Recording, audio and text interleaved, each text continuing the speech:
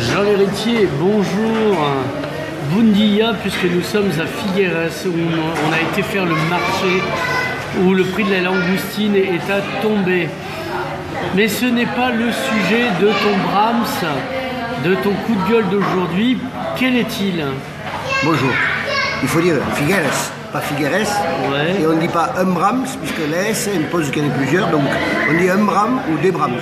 Donc c'est mon Brahms Ouais. depuis Figueres. Et euh, mon, mon Brahms, au bout, au bout- euh, pardon, aujourd'hui, euh, on le fera peut-être en catalan ce Brahms, parce qu'il est en lien avec la culture catalane.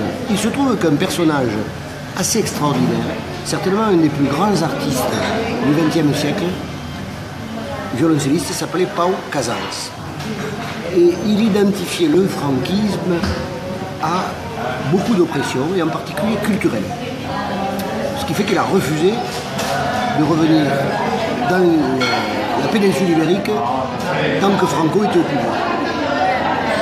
Cet homme a fait une déclaration célèbre à l'ONU en défense de la culture catalane.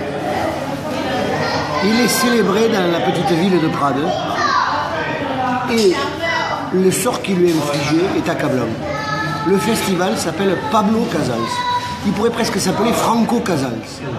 C'est-à-dire le seul endroit au monde où on devrait appeler ce festival, le festival Pau Casals, puisque ça a été le lieu de lutte de Casals contre l'oppression culturelle, eh bien, on a des bourrounes, comme on dit en roussillonnais, alors euh, c'est intraduisible, mais des lourdeaux Ouais.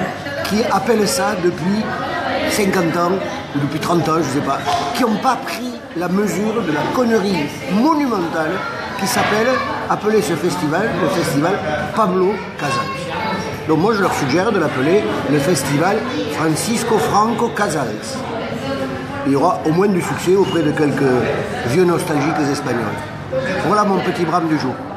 Mais bientôt je vous parlerai des gens qui n'aiment pas avoir des vaches pas loin de leur maison parce que ça sent pas bon. C'est un autre brame. Merci Jean Héritier.